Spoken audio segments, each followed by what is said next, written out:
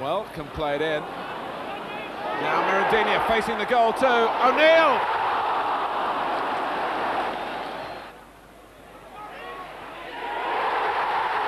That's an own goal off Gary Pallister.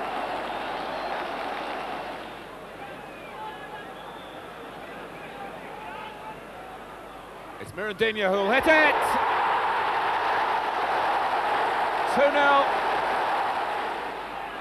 Mirandinha and Middlesbrough unable to rein him in now.